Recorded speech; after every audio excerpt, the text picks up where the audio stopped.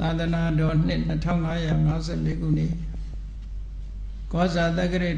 ရာ1382ခုနှစ်ပထမဝါဆိုလာပြီကျော်15ရက်2010ခုနှစ်ဇူလိုင်17ရက်ရန်ကုန်တိုင်းမရန်ကုန်မြို့နယ်သာသနာရေးဝန်ကြီးဌာနသာသနာတော်ထွန်းကားပြန်ပွားရေးဦးစီးဌာန သံဗုတိရိဗိမာန်တော်အတွင်းဆင်ကျင်းပပြုလုပ်အပ်သည့်ဓမ္မသဘယံခန္ဓာဝယ်မင်္ဂလာတောင်ညွတ်မြို့နယ်မင်္ဂလာဈေးအနန္တငါးပါးဥဒိဋ္ဌာလျက်ဘိုးဘွားမိဘများနှင့်ဥတင်ဆိုးတို့အားရည်စူး၍ဒေါ်လခင်မိသားစုကိုကျော်သိန်းဆေးဆိုင်ဤအမတဒါနဓမ္မဒါနအဖြစ်ဖြင့်ဟောဟောကြားအပ်သောသစ္စာ ဒေသနာဓမ္မစကြာအပိုင်း၃တရားဒေသနာတော်ဒီကနေ့ညဓမ္မသဘင်ခန္ဓာကိုရှင်ဘုန်းတော်သခင်ရှင်တော်မြတ်ဖရာ၏မဟာကရုဏာကုံအာယုပြုကတိကျုဖွဲ့ဆိုအပ်သောဝန္ဒနာပနာမအာတိတဂါထာကိုယူဆိုပူဇော်ခြင်းဖြင့်စတင်ကြရအောင် ယောကပကောတိဟိပိယပမေယံကာလံကရွန်တော်တိဒုက္ခရာနိခေရံကတောလောကဟိတယာနာထောနမောမဟာကရုဏိကတတတယောနာထောဝိနိယမြာစွာတတဝါဤချမ်းသာစီးပါလိုလားတောင်းတဂုံပေါင်းခါသည်ဖြင့် နာထမြညာခြင်းရှင်တော်မြတ်ဖရာသည်ကပ္ပဂောတိဟိပိဂရေကဘာအရေးအတွက်သင်္ချာတို့ဖြင့်တော်လဲအဘေမေယံရေတွေ့တိုင်းဒါဖော်ပြခြင်းငါမစွမ်းနိုင်ပါသော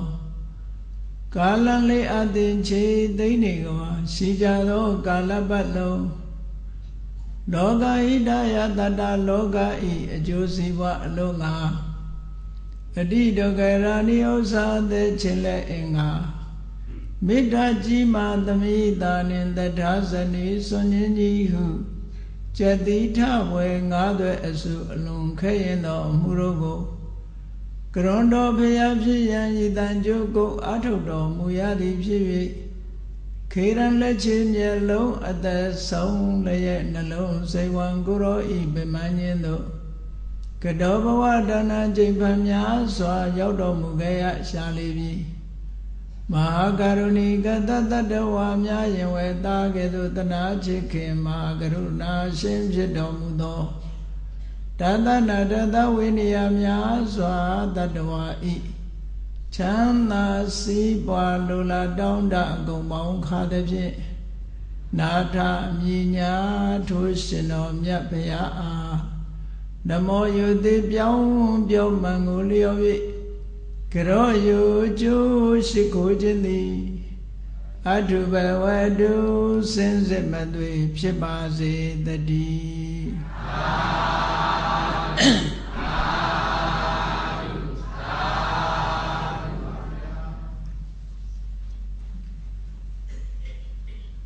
သစ္စာဒေသနာဓမ္မစကြာအပိုင်း3 ဒေသနာဉာဏ်လို့ဆိုတဲ့ဓမ္မစက္ကကိုစတင်ပြီးတော့မြတ်စွာဘုရားသခင်ကိုရောမြတ်အသုံးချလေပတ်စီတော်မူတဲ့ပိစဝဂီ၅ဦးကိုမူထားပြီးတော့ဒေသနာဉာဏ်တော်ကြီးကိုစတင်အသုံးချပြီးတော့တရားဟောပြောတဲ့လုပ်ငန်းကိုစတင်တာအဲ့လိုစတင်တဲ့အခါမှာ အရေးကြီးဆုံးမှားထားချက်အရေးကြီးဆုံးမှားထားချက်ကိုရှေးဥစွာမြတ်စွာဘုရားကဟောကြားတယ်မလုပ်ရမယ့်အချက်နှစ်ခုနဲ့ရှောက်ရန်ရှောက်လန်းရမယ့်လမ်းကြောင်းတို့ကိုရှေးဥစွာချမှတ်ပေးတယ်ခုခေတ်စကားနဲ့ပြောလို့ရှိရင်မြတ်စွာဘုရားက policy အသစ်ချမှတ်ပေးတယ်လို့ဒီလိုပြောလို့လည်းရတာပေါ့နော်ဘာသာရေးနဲ့ပတ်သက်လာလို့ရှိရင်ရှင်းတော့ကအယူဆနှစ်ရရှိခဲ့တယ်မြတ်စွာဘုရားအလောင်းတော်ဘုရားကတရားဓမ္မကိုရှာကြံတဲ့အခါမှာအယူဆနှစ်ရပေါ်ပေါ်လာခဲ့ဘူးတယ်အယူဆတရကဘာလို့ဆိုရင်ဒိဋ္ဌဓမ္မနိဗ္ဗာန်ဝါဒ မျက်မှောက်နိဗ္ဗာန်ခံစားရမယ်ဆိုတဲ့မျက်မှောက်နိဗ္ဗာန်ဆိုတာဘာလဲတတ်နိုင်သည်မြစိတ်ကိုပြောအောင်ထားတတ်နိုင်သည်မြကာမဂုဏ်အာယုန်တွေကိုခံစားလို့ဆိုတဲ့အယူဝါဒဒါဒိဋ္ဌဓမ္မနိဗ္ဗာန်ဝါဒပဲအဲ့ဒီဒိဋ္ဌဓမ္မနိဗ္ဗာန်ဝါဒဖြင့်လဲသူလမ်းစဉ်အတိုင်းလိုက်နာကျင့်သုံးလို့ တရားဓုတရားမြတ်ရလာတာမဟုတ်ဘူးတဲ့ဘာမှအသိဉာဏ်အထူးဆန်းထူးခြားတဲ့အသိဉာဏ်ကိုဘလို့မှမရနိုင်ဘူးနောက်တစ်တစ်ခုကတော့အေးဇိမ်ခန်းနေလို့တော့ဘာမှမဖြစ်ဘူးအသိဉာဏ်တွေထွက်ပေါ်လာဖို့ရာအတွက်ခန္ဓာကိုယ်ကြီးကိုညှဉ်းပန်းနှိပ်စက်ပေးရမယ်သုဘောအိဋ္ဌာတို့ ဣရိယာပုတ်တစ်မျိုးထဲမှာဆောင်းချောင်းထိုင်ပြီးတော့နေတာတို့မြေကြီးပေါ်မှာဒီတိုင်းအိတ်နေတာတို့အမတန်ပူလာတဲ့ရာသီဥရုကြီးမှာကောင်းကင်ကနေနေမင်းကြီးမွန်းတက်နေတဲ့အချိန်လေးဘက်လေးတန်ကမိဘုံကြီးတွေဖိုလို့အလဲကောင်မှာသွားထိုင်နေတဲ့အကျင့်မျိုးတွေတို့ပင်စာတပလို့ခန္ဓာကိုယ်ကိုဒုက္ခရောက်အောင်ညှဉ်းပန်းနှိပ်စက်ခြင်းဖြင့် ခန္ဓာကိုယ်ရဲ့ကအသိဉာဏ်တွေထွက်လာလိမ့်မယ်လို့ယူဆကြတယ်ပေါ့အမတန်အေးမြတဲ့ဆောင်းရာသီကာလကြတော့လေတနေ့ကိုရေထဲမှာ၃ချိန်ချိုးရေ၃ချိန်ချိုးခြင်းဖြင့်ခန္ဓာကိုယ်ရဲ့စင်ကြယ်မှုတွေရလာပြီးတော့အသိဉာဏ်ဒူးကြီးကိုရလာလိမ့်မယ်အမျိုးမျိုးဖုံဖုံမြတ်စွာဘုရားမပွင့်ခင်ကာလပွင့်ပြီးတဲ့နောက်ထီအောင်မှာပဲ အဲ့ဒီလိုဘာသာရေးကျင့်စဉ်ကြီးနှစ်ခုဟာရာဇဂုနယ်မှာအမတန်မှခေစားနေတယ်မကရတိုင်းကြီးထဲမှာအလွန်ခေစားနေတယ်အဲ့ဒီလမ်းစဉ်နှစ်ရက်နဲ့ဘာမှအသိဉာဏ်ပေါ်လာမှာမဟုတ်ဘူးဒါကြောင့်မို့ဒွေပိဘိခွေအန္တာပပစ္စည်းတေနနသိဝိတ္တပါလူပေါင်းကခွာရှောင်ပြီးတော့ တရားဓမ္မကိုရှားကြံမယ်ဆိုတဲ့ပုဂ္ဂိုလ်နှစ်ယောက်ဟာအဲ့ဒီကျင့်ကြံကြိုးကုပ်အထုံမှုနှစ်မျိုးကိုလုံးဝမလုံးကြနဲ့လို့အနုယောဂနှစ်မျိုးအနုယောဂဆိုတာမပြတ်ကြိုးပမ်းအထုံမှုလို့ကာမတုခံလိကနုယောဂကာမချမ်းသာခံစားမှုမှာမပြတ်အထုပ်တဲ့အကျင့်တစ်မျိုးအတ္တကိလမထာနုယောဂ ခန္ဓာကိုယ်ကြီးကိုပင်ပန်းအောင်နှိပ်စက်ပြီးတော့ကျင့်တဲ့ကျင့်ကြံကြိုးကိုအထုံမှုမျိုးဆိုတဲ့ဒီအနုယောဂကျင့်စဉ်နှမျိုးဟာမှားယွင်းတယ်ဘယ်လိုမှအသိဉာဏ်တူကိုရလာမှာမဟုတ်ဘူးရသော်ဘုရားကတိတိလင်းလင်းတွေးမေဘိခွေအန္တာပပိစိတေနနတိဝိတ္တပါတရားထုတရားမြတ်ကိုရလို့တဲ့ပုဂ္ဂိုလ်တွေဟာဒီကျင့်စဉ်နှစ်ရပ်ကို လုံးဝမလိုက်နဲ့လို့အဲ့လိုလုံးဝမလိုက်နဲ့လို့မိန်ကြားပြီးတဲ့နောက်မှာဣတိခောဥဘောအန္တေအနုပခံမှာအဲ့ဒီကျင့်စဉ်နှစ်ရက်အနုယောဂနှစ်မျိုးကိုလုံးဝရှောင်ကွင်းပြီးတော့ဟိုဘက်လည်းမရောက်ဒီဘက်လည်းမရောက်ချမ်းသာခံစားတာလည်းမဟုတ်ဘူး ဆင်းရဲခံစားတာလည်းမဟုတ်ဘူးချမ်းသာတာခံစားတဲ့နဲ့ချမ်းသာဆိုရင်ခံစားမယ်ဆင်းရဲခံတဲ့ရင်ခံရမယ်ဆိုတဲ့မစ္စည်းမပฏิပဒါအလယ်လန်းကိုရှောက်ခိုင်းတယ်အဲ့တော့အလယ်လန်းအလယ်လန်းလို့ဆိုတာဟိုဟိုဘက်မရောက်ဒီဘက်မရောက်ဒီလိုလမ်းမျိုးကိုပြောတာမဟုတ်ဘူး ဟိုဘက်မရောက်ဒီလိုဒီဘက်မရောက်လမ်းမျိုးမဟုတ်ဘူးအလယ်လန်းဆိုတာအတိတ်တွေကတော့ချမ်းသာခံစားသိရင်ခံစားရမယ်တရားသဖြင့်ရလာတဲ့ဓမ္မဒုက္ခဆိုတာမစွန့်ပယ်ရဘူးဆင်းရဲခံသိရင်လည်းခံရမယ်ဆိုတဲ့ဟာမ်းသာကိုယ်သာခံစားရမယ်ဆိုတဲ့ဝါဒဟာလည်းပဲ တစ်ဖက်အစွန်းရောက်နေတယ်ဆင်းရဲခံရမယ်လို့ပြောတဲ့ဟာလည်းပဲတစ်ဖက်အစွန်းရောက်နေတယ်အဲ့ဒါလို့အစွန်းမရောက်ဘဲနဲ့မှန်ကန်တဲ့အလေလန်းလမ်းစဉ်တစ်ခုကိုဖြတ်မှတ်မစ္စည်းမပฏิပဒါကို middle way လို့ဒီလိုဘာသာပြန်ကြတယ်အခုကိနိုင်ငံရေး policy ပြောကြတာလို့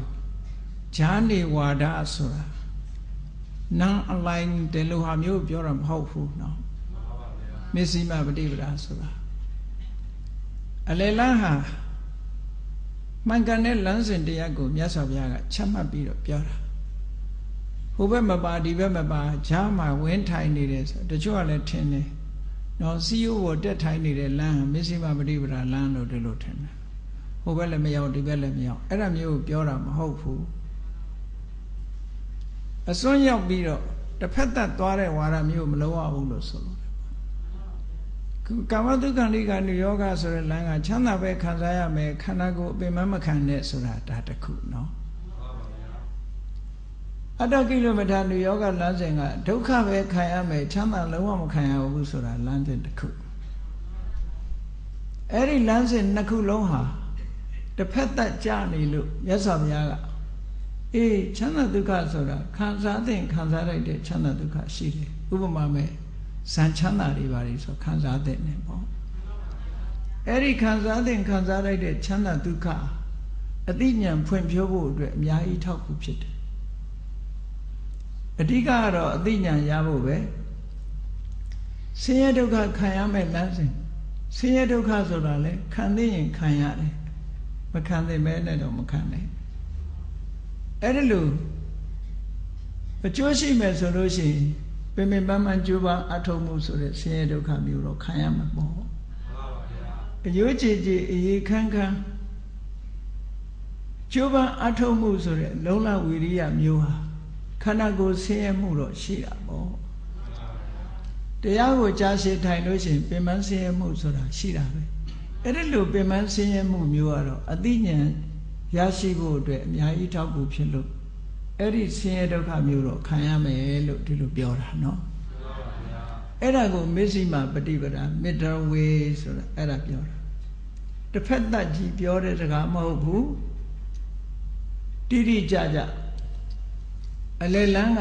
မှန်ကန်တဲ့လမ်းစဉ်ကိုရွေးချယ်ပြီးတော့အထောက်ရမယ်လို့မြတ်စွာဘုရားဒီလိုဟောလို့တာအဲ့ဒီမစ္စည်းမပฏิပဒါဆိုတာ ဘာလဲမစ္စည်းမပฏิပဒါဆိုတာဘယ်လိုအထူးတွေအကျိုးကျေးဇူးတွေရှိလို့လဲလို့ဆိုတော့ယံခောတာဘိက္ခွေမစ္စည်းမဣတိခောဥဘောအန္တေနုပကမ္မမစ္စည်းမပฏิပဒါတထာဂတေနအဘိတံဗုဒ္ဓဒီလမ်းစဉ်ဟာမြတ်စွာဘုရားကိုယ်တိုင်ထိုးထွင်းသိမြင်ခဲ့တဲ့လမ်းစဉ်တစ်ခုပဲဘုရားကိုယ်တိုင်လျှောက်လမ်းပြီးမှသူများလျှောက်ဖို့လမ်းညွှန်တာ ဒါမို့တထာဂတေနအဘိတံဗုဒ္ဓငါဘုရားကိုယ်တိုင်ထိုးထွင်းသိမြင်ထားတဲ့လမ်းနဲ့အဲ့ဒီလမ်းရဲ့အကျိုးကျေးဇူးတွေကဘာလို့ဆိုရင်စက္ခုကရဏီညာနာကရဏီဒီလမ်းကြောင်းကလျှောက်ပြီးဒီကျင့်စဉ်ကိုကျင့်မယ်ဆိုလို့ရှိရင်မျက်စိအမြင်ကိုထုတ်လုပ်ပေးလိမ့်မယ်ညာနာကရဏီအသိဉာဏ်တွေကိုဖွင့်ဖြိုးလာစေလိမ့်မယ်အဓိကကအဲ့ဒါပဲ ခုနကလမ်းစဉ်နှစ်ရပ်ကိုခုနကအနုယောဂအကျင့်နှစ်မျိုးကိုကျင့်ခြင်းဖြင့်အမြင်စက္ခုကိုလည်းပဲဖြစ်စေနိုင်မှာမဟုတ်ဘူးအသိဉာဏ်ကိုလည်းပဲဖြစ်စေနိုင်တာမဟုတ်ဘူးဟောမစ္စည်းမပฏิပဒါဆိုတဲ့ဒီလမ်းစဉ်ကိုကျင့်မယ်ဆိုရင်တော့စက္ခုကရဏီအမြင်တစ်မျိုးရလာမယ်တဲ့ဘဂရိမျက်စိနဲ့မတူတဲ့ မှန်မှန်ကန်ကန်မြင်နိုင်တဲ့ဓမ္မမျက်စိတစ်ခုရလာနိုင်တယ်လို့ဒီလိုပြောတာညာနာကရဏီအတိညာဏ်တွေကိုလည်းပဲ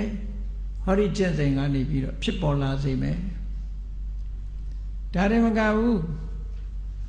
အဲ့ဒီအတိညာဏ်တွေပေါ်လာပြီးတဲ့နောက်ဘလို့အကျိုးကျေးဇူးတွေရတော့ဆိုဥပသမယစိတ်ရပူပန်မှုတွေအားလုံးဟာလည်းငြိမ့်သွားလိမ့်မယ် ဟောတရားကျင့်သည့်အတွက်ကြောင့်ခုနကိလေသာအာယုံကာမဂုဏ်တွေခံစားပြီးကာမတုခလိကနေယောကအကျင့်ကိုလိုက်ပြီးတော့ကာမဂုဏ်အာယုန်တွေကိုခံစားနိုင်မယ်ဆိုလို့ရှိရင်စိတ်ဟာငြိမ်းချမ်းမှုရမှာမဟုတ်ဘူးခဏတစ်ပြုတ်လေးပျော်သလိုလိုဖြစ်ပြီးတဲ့နောက်မှာပူပန်မှုတွေနဲ့ပဲသွားတယ်သူက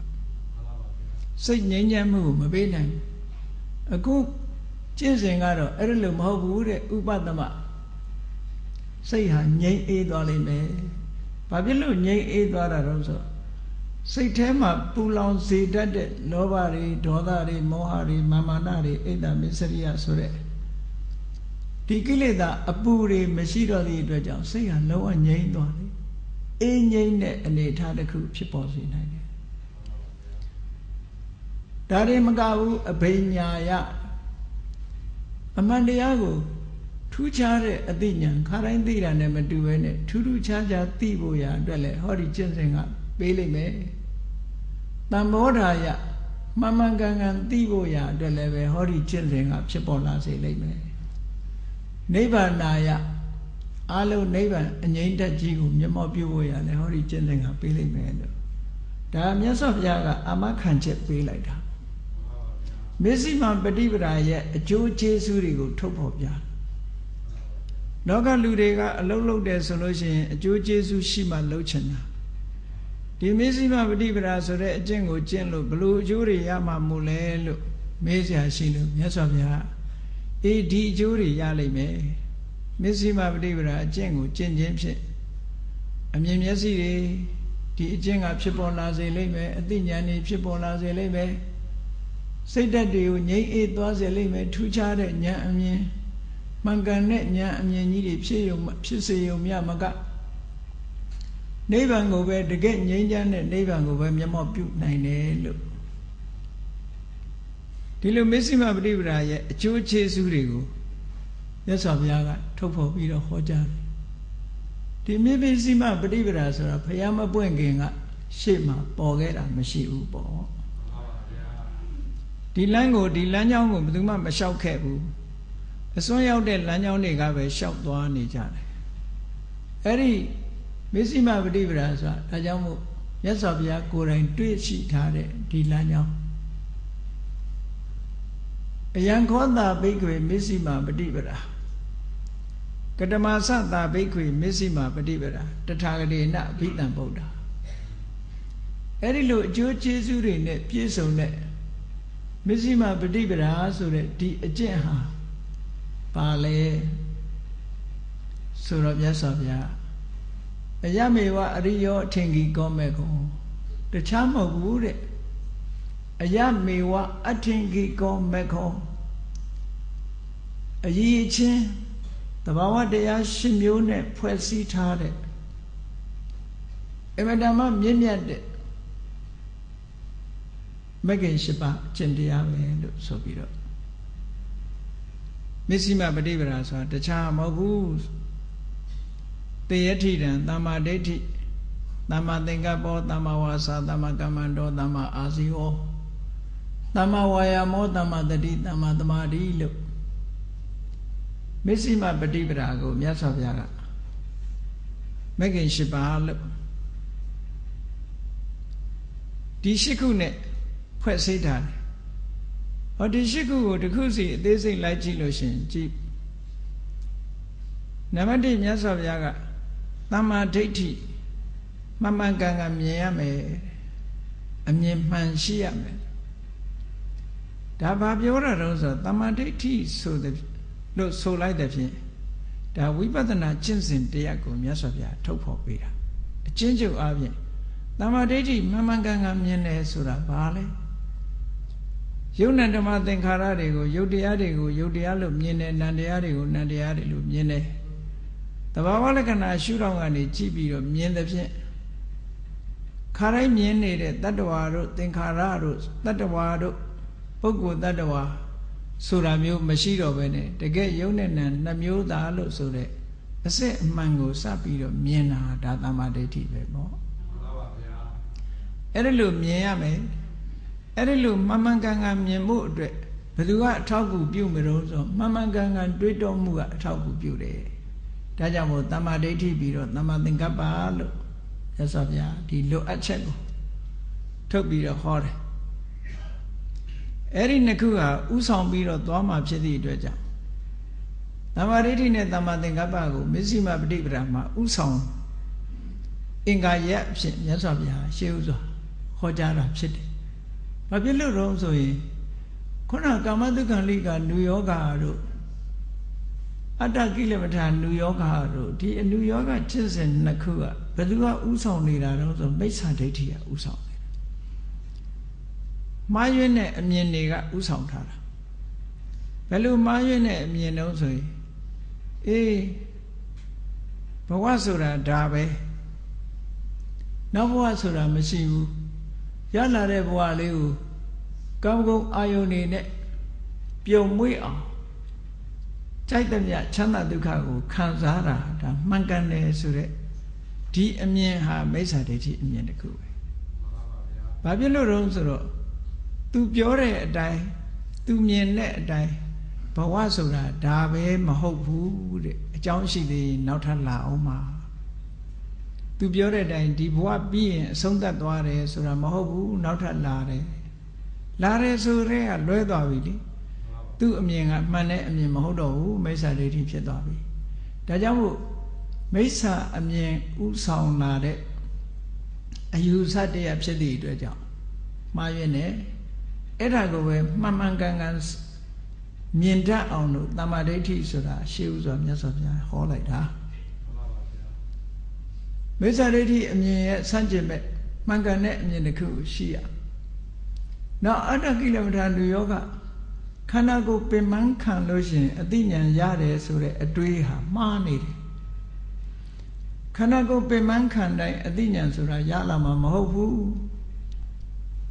ပင်မခံလို့အသိဉာဏ်ရလာမယ်ဆိုရင်တော့ပင်မခံလိုက်တာပေါ့သို့တော့ပင်မခံရတဲ့အသိဉာဏ်ကရမလာဘူးတဲ့ ခန္ဓာကိုယ်ကြီးပင်မနွမ်းနယ်သွားရုံပဲရှိတယ်ကိလေသာကတန်းလန်းမယ်ဆိုတော့ဒီအယူဆဟာလည်းပဲမှားရွံ့တဲ့အယူဆတစ်ခုဖြစ်နေတယ်မိစ္ဆာဒိဋ္ဌိကဥဆောင်နေတယ်ဖြစ်တယ်ဒါကြောင့်မို့လို့အဲ့ဒီကျင့်စဉ်နှစ်ရပ်ကိုမိစ္ဆာဒိဋ္ဌိကအမြင်မှားကဥဆောင်ထားတာဖြစ်သောကြောင့်အဲ့ဒီအမြင်မှားကိုပယ်ဖြောက်ဖို့ရာအတွက်တမ္မာဒိဋ္ဌိဆိုတာကိုအရင်မြတ်စွာဘုရားဟောလိုက်တာနော် အလုပ်တစ်ခုလုပ်တော့မယ်ဆိုရင်မှန်ကန်တဲ့အမြင်ရှိဖို့အမြဲတမ်းအရေးကြီးတယ်သီလပဲစောင့်တည်စောင့်တည်သမထကျင့်စဉ်ပဲကျင့်ကျင့်ဝိပဿနာတရားပဲအထုတ်အထုတ်အလုပ်တစ်ခုကိုလုပ်ပြီဆိုရင်အမြင်ကတိမ်းဆောင်းနေလို့ရှိရင်လုံးသမျှတွေကအကုန်ချွတ်ချော်နေတာမဟုတ်လားဒါကြောင့်မို့လုံးသမျှတွေကမမှန်ကန်နိုင်ဘူးမှန်ကန်နိုင်မှုရာအတွက်ဘာလို့ဆိုအမြင်မှန်ရမယ် မစ္စည်းမပฏิပဒါမှာရှေးဥစွာတမ္မာဒိဋ္ဌိဆိုတာကိုဒါကြောင့်မြတ်စွာဘုရားကအရင်ဟောတာစင်ញင်တယ်လို့စင်ထားပြီးတော့ဟောခြင်းတယ်လို့ဟောတာမဟုတ်ဘူးအတိပ္ပယ်ရှိရှိဟောထားတာနော်ကာမတုခန္ဓိကနုယောဂနဲ့အတ္တကိလမထနုယောဂနှစ်ခုကမိစ္ဆာဒိဋ္ဌိအမြင်လွှမ်းမိုးထားလို့ဒီအကျင့်စဉ်နှစ်ရပ်ကိုတန်မိုးရှိတယ်လို့ယူဆတယ်အဲ့ဒီယူဆနှစ်ရပ်ကိုဖယ်ဖြတ်ဖို့ မစ္စည်းမပฏิပဒါလမ်းကြောင်းကိုချမှတ်တာဖြစ်လို့မစ္စည်းမပฏิပဒါလမ်းကြောင်းကြတော့တမ္မာဒိဋ္ဌိမှန်ကန်တဲ့အမြင်ရှိအေးကာမဂုဏ်ချမ်းသာခံစားနေလို့ဘာအသိဉာဏ်မှရလာမှာမဟုတ်ဘူးဆိုတာတမ္မာဒိဋ္ဌိမှန်ကန်တဲ့အမြင်တစ်ခုပဲခန္ဓာကိုယ်ပင်ပန်းခံယုံနဲ့ပဲအသိဉာဏ်ရလာမယ်ဆိုတာဒါလည်းပဲမမှန်ကန်ဘူးလို့မြင်လာတာဟာတမ္မာဒိဋ္ဌိပဲပေါ့ အဲ့ဒီတမ္မာဒိဋ္ဌိဥဆောင်မှုရအတွက်မေဇိမပရိပဒမှာတမ္မာဒိဋ္ဌိဆိုတာကိုရှင်းဥစွာဟောတယ်။ဒါတော့တမ္မာဒိဋ္ဌိတစ်ခုတည်းအလုံးလုံးမလားလို့ဆိုမဟုတ်ဘူး။အလုံးဟာစုပေါင်းပြီးတော့အလုံးလုံးရတာ။တဘာဝတရားတွေကစုပေါင်းပြီးတော့အလုံးလုံးတာ။အဲ့တော့တမ္မာဒိဋ္ဌိကိုအနိကအထောက်ကူပြုနေတဲ့အင်္ဂါရက်ကဘာလဲလို့ဆိုလို့ရှိရင်တမ္မာသင်္ကပ္ပတဲ့။တမ္မာသင်္ကပ္ပဆိုတာ မှန်မှန်ကန်ကန်တွေးတောကြံစည်မှုဟာမှန်မှန်ကန်ကန်ရှုမြင်သုံးသပ်ခြင်းရဲ့အထောက်အကူပစ္စည်းတစ်ခုပဲပေါ့အေးမှန်မှန်ကန်ကန်မြင်မှုအတွက်မှန်မှန်ကန်ကန်တွေးတောတတ်ဖို့ဟာအရေးကြီးတယ်ကောင်းပြီအမှန်လဲမြင်တယ်အမှန်လဲတွေးတတ်ပြီဆိုရင်ဘဘာတွေလောက်ရမှာလဲဘာကအခြေခံရမှာလဲမဂ္ဂင်၈ပါးဟောထားတာအကျင့်စဉ်တစ်ခုကိုဟောတာ အမြင်မှန်းနေပြီအတွေးမှန်းနေပြီဆိုရင်ဘာလို့ရမလဲဆိုရင်အေးသမ္မာဝါစာသမ္မာကမ္မန္တသမ္မာအာဇီဝကိုချင်းသီလမှန်ကန်ပါစေလို့ဒီလိုဆိုလိုတာဘာဖြစ်လို့တော့ဆိုကိုချင်းသီလပေါ်မယက်တီပဲနဲ့အသိဉာဏ်တစ်ခုမရနိုင်ဘူးကိုချင်းသီလဟာအမတမအရေးကြီးတယ်အလုပ်တစ်ခုလုပ်မယ်ဆိုလို့ရှိရင် လူတွေဟာပင်ပင်ပန်းပန်းအလုပ်တစ်ခုလုပ်ပြီဆိုရင်ခြေထောက်ကရက်တီစရာတစ်ခုရှိရမယ်ဆိုပါစို့မြေကြီးပေါ်ရက်တီပြီးတော့တစ်ပင်တွေရှင်းကြတယ်ခုတ်ကြတယ်ဆိုမြေကြီးပေါ်ရက်ပြီးလောက်ရရက်စရာနေရာရှိရမယ် ground ရှိရမယ်လို့ဆိုလိုတယ်အဲ့ဒါလိုပဲထူးခြားတဲ့အသိဉာဏ်တစ်ခုရဖို့ရာအတွက် ယက်တီဖို့ရတစ်ခုရှိရမယ်အဲ့ဒီယက်တီမှုကဘာလဲလို့ဆိုရင်တမ္မာဝါစာတမ္မာကမ္မန္တတမ္မာအာစီဝသီလပေါ်မှာယက်တီရမယ်လို့ဒီလိုပြောတာသီလပေါ်ယက်တီလိုက်တဲ့အခါကျတော့သီလကဘာအကျိုးရှိတာတုံးလို့မြတ်စွာဘုရားကတခြားသုတ်တန်တွေမှာဆက်ပြီးဟောထားတာရှိတယ်ကိုချင်းသီလရှိလာပြီဆိုလို့ရှိရင်အလိုလိုစိတ်က ဝမ်းသာကြည်နူးမှုတွေရှိတယ်။ဟောငါမဟုတ်တာမလုပ်ဘူးလို့ပြန်တွေးလိုက်တိုင်းအဝိပတိတာရတဲ့။နောင်နပူပန္နာတို့မဖြစ်ဘူး။စိတ်ထဲမှာပြန်တွေးလိုက်တိုင်းဝမ်းနေစရာဆိုတာမပေါ်ဘူး။ကိုချင်းကောင်းတဲ့တီလာကိုအကြောင်းပြုပြီးတော့ဝမ်းနေစရာဆိုတာဘာတစ်ခုမှမရှိဘူးနော်။ကိုချင်းတရားကောင်းမှုကိုကြည့်ရင်ဝမ်းသာစရာတွေကြည့်တယ် အဲ့ဒီဝမ်းသာမှုကိုအကြောင်းပြုပြီးတော့ဝမ်းမြောက်ခြင်းဆိုတဲ့ပမောဇ္ဇဖြစ်လာဝမ်းမြောက်မှုကိုအကြောင်းပြုတဲ့အခါကျတော့ပိတိဆိုတဲ့စိတ်ထဲမှာကျဉ်တ်လာတာဖြစ်လာပိတိဖြစ်လာလို့ရှိရင်ခန္ဓာကိုယ်ရောစိတ်ရောငြိမ်းချမ်းလာတဲ့ပတ္တတိဖြစ်လာခန္ဓာကိုယ်ရောစိတ်ရောငြိမ်းချမ်းလာပြီဆိုရင်ဒုက္ခချမ်းသာတယ်ဆိုတာဝင်လာတယ် ဒုက္ခချမ်းသာမှုရလာတာနဲ့တပြိုင်နက်တမာတိစိတ်ကလေးဟာငြိမ်းလာတယ်ဆိုတော့သီလကဒီလိုအကျိုးပြုတာဒါကြောင့်မို့မဂ်ခင်၈ပါးမှာအမှန်မြင်အမှန်တွေးတတ်ပြီးတဲ့ဟာပေါ်မှာအခြေခံပြီးတော့အခြေခံလောက်ရမှာကိုချင်းသီလပဲနှုတ်ကိုစောင့်စည်းတယ်တမ္မဝါစာကိုမှုကိုစောင့်စည်းတယ်တမ္မကမ္မန္တမှန်ကန်တဲ့အသက်မွေးမှုနဲ့ အသက်မွေးဝမ်းကြောင်းပြုတယ်တမ္မာအာစီဝစိတ်ဓာတ်ကိုကြည်နူးစေတဲ့သီလအကျင့်တရားပေါ်မှာအခြေခံရမယ်လို့ဒီလိုပြောတာအဲ့ဒါလို့အခြေခံပြီးတဲ့အခါမှာကျိုးပံအထုတ်ပါကျိုးပံအထုတ်မှုကတမ္မာဝါယာမကျိုးပံအထုတ်တဲ့အခါမှာလှုပ်တိုင်းလှုပ်တိုင်းတတိထားရမှာကတမ္မာတတိ အေးတတိထားပြီးတော့စိတ်ကလေးငြိမ်အောင်ဖြစ်စေတာကတမာတမာတိလို့အဲ့ဒါလို့မဂ္ဂင်၈ပါးကိုအလုံးပေါင်းစည်းပြီးတော့အလုံးလို့ဖို့ရအတွက်မြတ်စွာဘုရားကမစ္စည်းမပฏิပဒါဆိုတာဒီအင်္ဂါ၈ရက်နဲ့ဖွဲ့စည်းပြီးတော့ပေးထားတာဟောတာကမစ္စည်းမပฏิပဒါပဲအဲ့တော့မစ္စည်းမပฏิပဒါဆိုတာတခြားပြောတာမဟုတ်ဘူး လက်တွေ့ကျင့်သုံးရဖို့တစ်ဖက်ကနေပြောမယ်ဆိုလို့ရှိရင်မစ္စည်းမပฏิပဒါဆိုတာတမထကျင့်စဉ်နဲ့ဝိပဿနာကျင့်စဉ်ကိုအချင်းချုပ်ပြောပြတာပဲချင်းချုပ်ဟောလိုက်တာဘယ်လိုချင်းချုပ်ဟောတာတုံးလို့ဆိုရမယ်ဆိုရင်ကြည့်နာမသမာဓိဆိုတာကိုကြည့်ရင်မြတ်စွာဘုရားကဒီမဂ္ဂင်၈ပါးတဲ့က တခုစီတခုစီရဲ့အသေးစိတ်ကိုရှင်းပြတဲ့တုတ်တန်တွေရှိတယ်။တန်ရုပ်ပါဠိတော်မှာမက္ခတန်ရုပ်မှာဝိဘံကတုတ်ဆိုတာရှိတယ်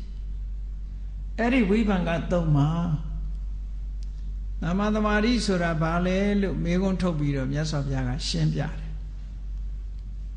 နာမသမารိဆိုတာတဲ့ကာမဂုဏ်အာယုန်တွေကစိတ်ကို လွတ်ထွက်သွားအောင်အကုသိုလ်အတွေးတွေကစိတ်ကိုလွတ်ထွက်သွားအောင်မှန်ကန်တဲ့အာယုံလေးတစ်ခုပေါ်မှာကြံစီခြင်းစိတ်ကူးခြင်းနှစ်သက်မှုပီတိဖြစ်ခြင်းချမ်းသာခြင်းတည်ငြိမ်ခြင်းဆိုတဲ့သဘာဝတရား၅ခုနဲ့ယက်တီးပြီးတော့နေတဲ့အဆင့်ဟာဒါပထမဇန်အဆင့်လို့ခေါ်တယ် အဲ့ဒီပထမဇန်အဆင့်ဟာဝိဝေကစပိတိဒုက္ခကာမဂုဏ်အာယုံအကုသိုလ်တွေကိုဖယ်ရှားလိုက်လို့ရလာတဲ့